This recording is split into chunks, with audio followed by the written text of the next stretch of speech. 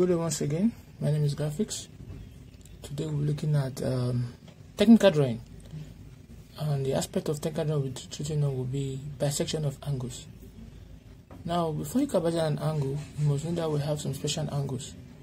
Angles like angle 30 degree, right? Angle 60 degree, angle 45 degree, and what? Angle 90 degree all these angles are special angles and these are the angles at which all our, all, our, all other angles are built upon right? Now we have what is called the set square. That again. Now if I have my set square placed on my t square if I have my set square placed on my t square this edge here when it's straight forward here it is what? 90 degree. Now you need to watch very well and see what I'm actually talking about. The t square must be what? Must be tangential to the edge of what? My drawing set that makes it move tangentially on the edge. How good? It must move tangentially here like this. Now, what I will do as far it is placed like this on my there's no space here as you can see as long as it is placed that way then can you see that? As long as it's placed like this then um, I will ensure that my t-square I will ensure that my t-square is also placed at that junction. That taking so my t-square must be placed at the horizontal part of the t-square. So I can move my set square like this when this condition is fulfilled. Now when my set square is like this, if I use my set square, my t square is meant for drawing horizontal line. If I place it this way, I draw my horizontal line. Is my horizontal line here, right? Let me call the line A, and let me call this point B. Is that okay? Now, if I take my set square when it is standing when I mean standing when it is standing when it is standing like this. Can you see? When it's standing like this it means that what? I want to draw my 90 degree. Now if I place it at this end here this end point which is my A point here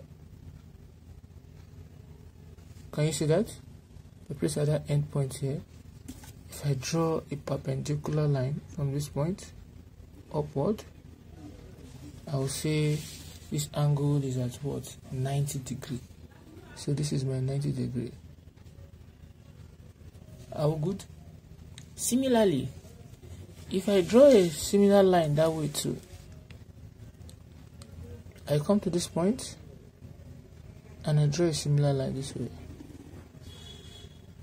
Right so if I do that and I take my I mark my points point A and point B and I want to draw my 45 degree I'm going to place the same t square the same set square on my t square and I'll move it until it gets to the end of my A. Now since I'm looking for 45, 45 degree I'll use my faint line I will draw this just with faint line. Can you see that? I'm drawing with faint line. Then I'm going to use my pencil my my compass. I'm going to use my compass at any reasonable radius. And I'll place at this edge A here right with any convenient radius and I'll draw my arc like this to cut through. Can you see that? Now when it cut through with the same radius, if I like, I extend it. If I extend it, I use the same radius. Let me see, I'm extending it. I'll place it at this point that it cut the horizontal line. I'll strike an arc. With the same radius, I place it here also. Can you see where I'm placing it? And I'll strike the other arc. Are we good? So where it cuts through at this point, I'll take my meter rule and I am going to draw it past it so with my thick line. So this is angle what? Angle 45 degree. Right? Angle what? Angle 45 degree. This is 90 degree. Is that okay? That is one.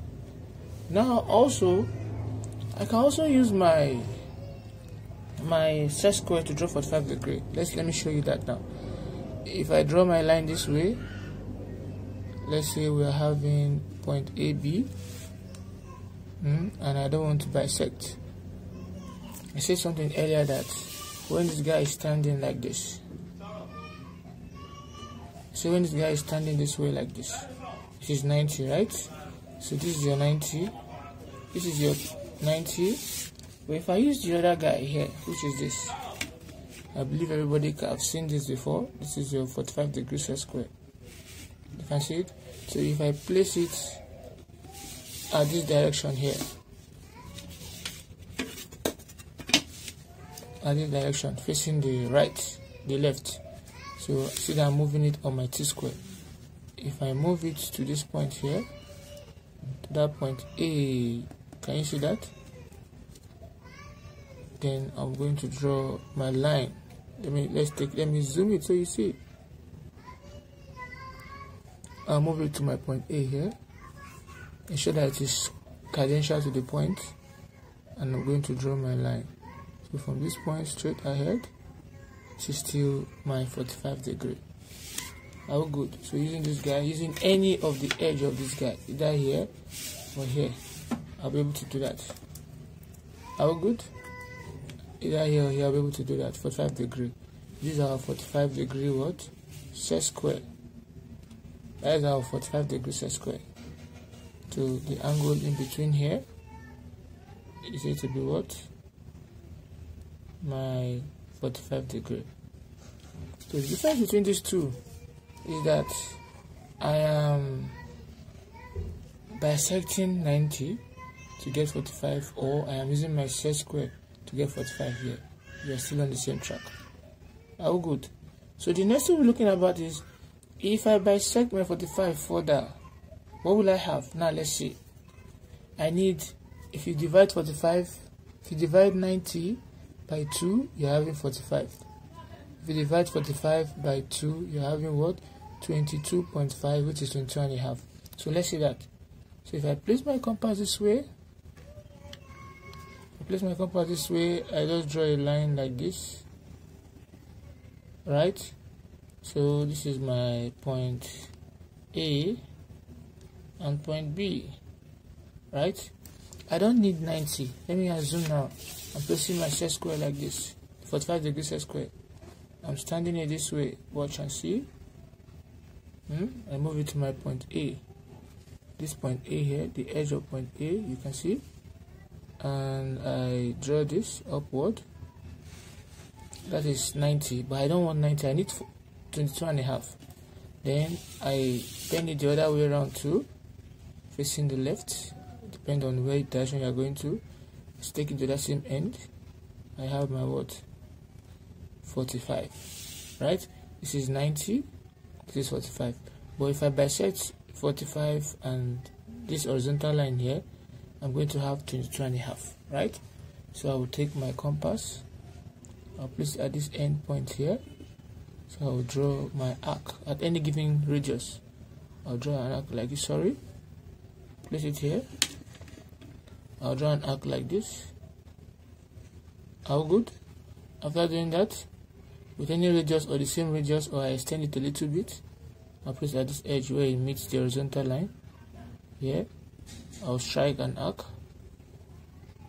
I'll come to this other point here also. I'll strike another arc. So where they meet I'll pass my line through that point from point A here. So I'll go through that point. So watch very well. I'll go through that point to this point here to point A.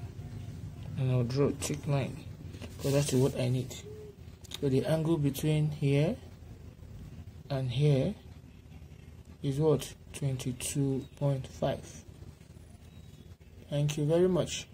Our next video we'll see how we bisect angle 30 60 and so on and so forth. Thank you